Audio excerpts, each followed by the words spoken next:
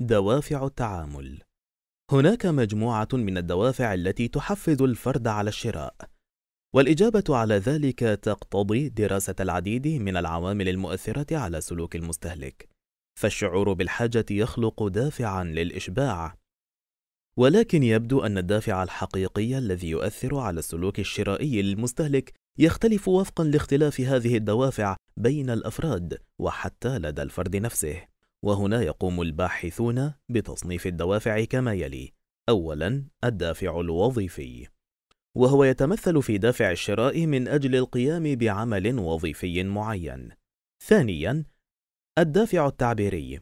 وهو يتمثل في دافع الشراء من أجل التعبير عن المودة والمحبة كشراء هدية مثلا.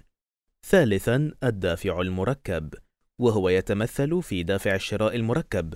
والذي يدور حول أكثر من هدف واحد يراد تحقيقه من عملية الشراء.